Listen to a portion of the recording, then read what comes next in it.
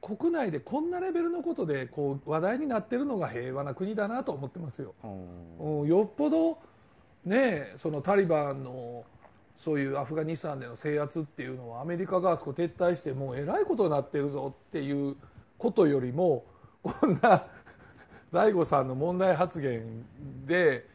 世の中は多分今タリバンの問題いわゆるアフガニスタンの問題と大悟さんの炎上って言ったら国民の多分倍以上は大悟さんのことは知ってるけどもタリバンのことなんか分からんっていう人がほとんどだと思うんでいやなんと平和な国なんだなと思いながらもこの日本にもそういう中国とアメリカの争いみたいなのがそんなに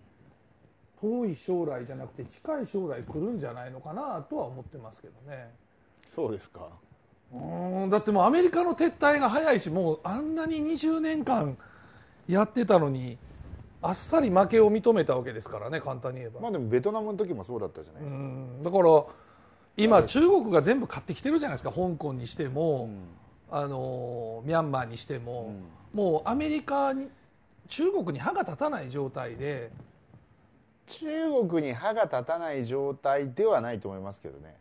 僕はなんか後ろで全部中国が糸を引いてるから単純に僕はいや多分そうではなくて、うん、結局その21世紀ってテクノロジーの時代なんで、うん、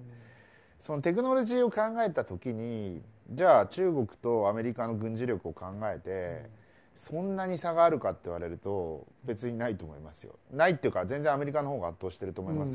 だってねだって例えばじゃあ生物兵器を見てみましょうと、はい。メッセンジャー RNA ワクチンは結局アメリカとドイツの会社が開発したわけですよ。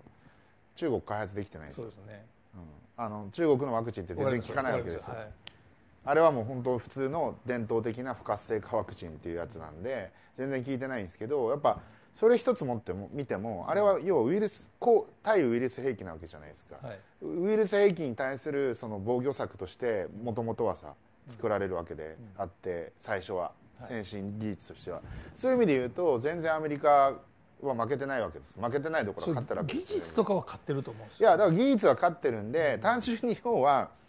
国威発揚のためにやってるわけじゃないですか、うん、で10億13億人の中国国民を統一を維持するためにやってるわけじゃないですか、うんはい、そうしないとだって崩壊しちゃうから、はい、でそのためにやってるんで、そのためにっていう文脈を考